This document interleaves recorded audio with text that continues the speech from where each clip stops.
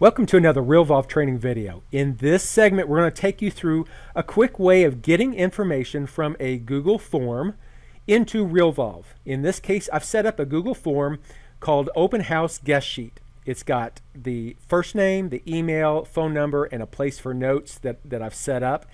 If I go to the actual sheet itself, where we can fill in information, putting in first name, email, phone, and notes is all there. Uh, once you click on submit, then that information then automatically goes into a Google Sheet. You can see the different columns that are in there. What our goal is, is to take the information as a row is filled in to put it into RealVolve so that we get the first name, phone, email, and notes into RealVolve. We can do that through Zapier.com.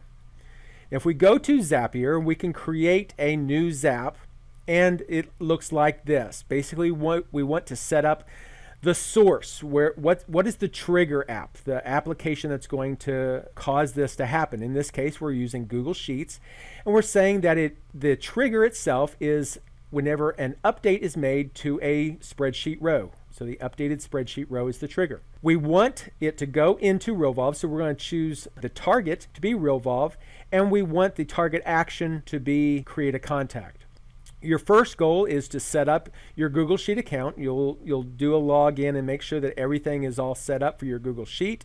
You can test that account, make sure that it tests out properly. Then the second thing you need to do is make sure that you set up the RealVolve account. Now I've already got mine set up, uh, mark at realvolve.com, and we can test that. One thing that you do want to make sure that you know is whenever you're setting up the RealVolve account, you will need a, a RealVolve API key, and that API key can be viewed or copied from the settings section of RealVolve. Just go under settings, and then integration will be the new name. If you've got the older Zapier link, it will be under Zapier, but uh, you'll see a Zapier API key. You'll copy that and use that for creating the account. Once you have that, you can then select a Google Sheet. In this case, I'm selecting the sheet that I want to be Open House Guest Sheet very simple. And then I wanted to use the form responses one because that was the, the form that we were using to put all the responses in. Uh, we don't really have any kind of trigger columns or anything set up. We can leave that as it is. And then we'll start filling in which fields we want. Well, we've got the first name field, and we want to fill in the full name on that.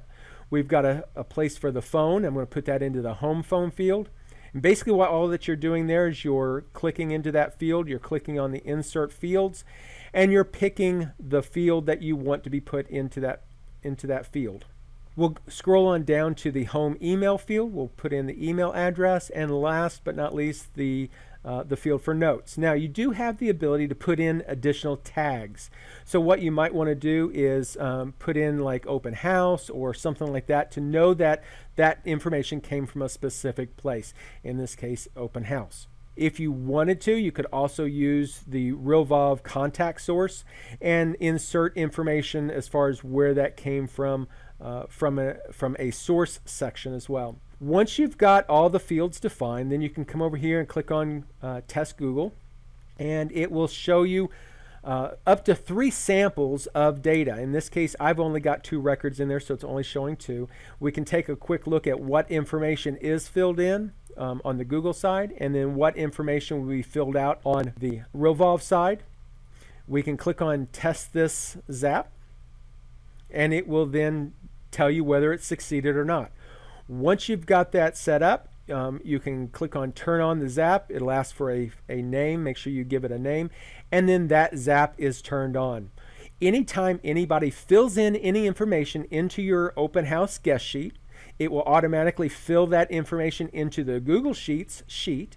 And then that information then triggers that zap to automatically put it into RealVolve. And you're all set. If you have additional questions, visit our website or send us an email, support at realvolve.com. Have a great day.